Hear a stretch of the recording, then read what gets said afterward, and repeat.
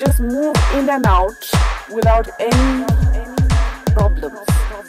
Because that actually reduces the democratic accountability of governments. Automation need not be something we are terrified of. We are terrified of it because we allow our governments to let markets decide everything.